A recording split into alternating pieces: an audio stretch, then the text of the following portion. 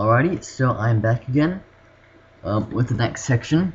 We just covered the other half or other third of these um, ICs.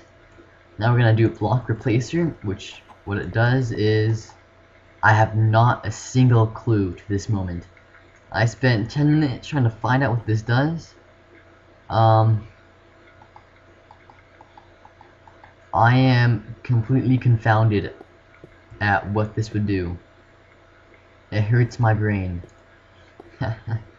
so what this does is it so as I was saying I think that the second tutorial um this is the same exact thing as the it's day um um thing back here. Let me just get a compass. So I can go back much more quickly. Um so that's the light sensor. So lava so we go. It's day Um, so, um, here we go. This is automatically triggered by night and day, but as we're saying, the, that's a self-triggered block. So this block, it's see right now is it detects day. That's because it was already set like that. But as you can see, red, redstone current does not affect it. But if I time night it, um, it's nighttime, this still thinks it's daytime. But once I put redstone current, it'll activate it, and it will stop the current. And if I time day, it hasn't changed back. I apply the current, it'll change again.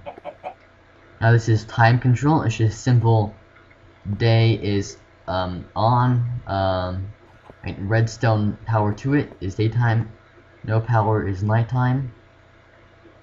So the moon is right over this hill. Then you can see it's daytime right there. Um, this is an arrow shooter. Uh, very nice for dungeons again. Um, it has two variables. This is arrow shooter and arrow barrage. Um, point I mean two is the maximum speed an arrow can go. Point three is the minimum speed. So as you can see right here, that shoots it quite far. Um, it's it's kind of random actually in the way it shoots, well, the direction it shoots it. Then an arrow barrage. As you can see, point three is not very much power at all. It shoots five arrows at once. But if it was point two, it'd shoot it much farther. Further, I mean. Farther? I'm confused. So this is another one of those um, non-self-triggered blocks. Um, geez. Um, so this is a water sensor again.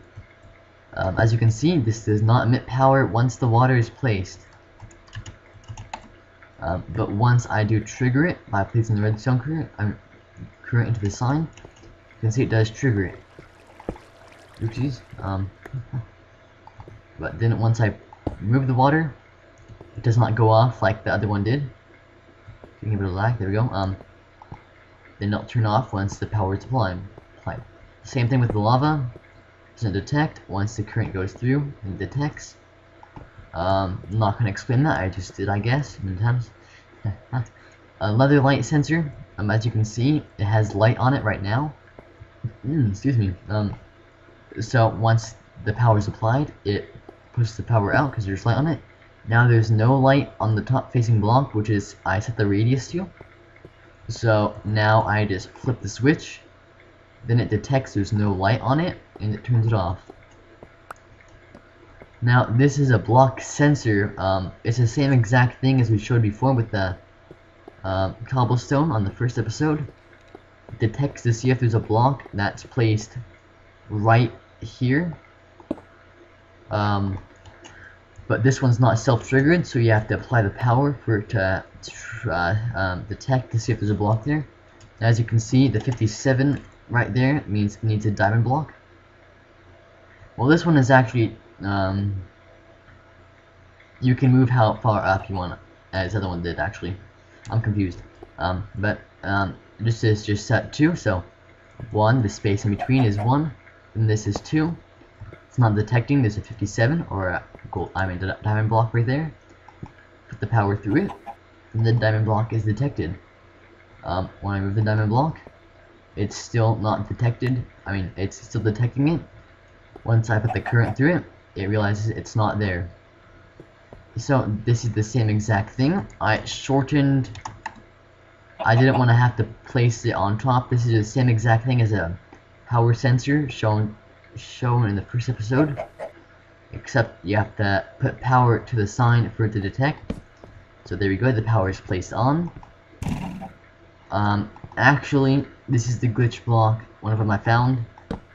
Well, the main one I found so far is it's thinking it's an arrow barrage. Um, as you can see right there, it's shooting the arrow barrage out, as we just showed. So, um, yeah, that's the first, and that's the, this is the fourth episode. I hope you enjoyed. Um, the FalseBook plugin person, please note that that is broken right now, and I hope you fix it soon It's not that big of a deal, I guess, but it's just broken for now. Um, and I hope you, I hope this helped you see the brokenness of the broken thing. So, um, uh, thank you guys for watching. Um, um, I'll get working on the next episode right now. Um, next tutorial, I should say.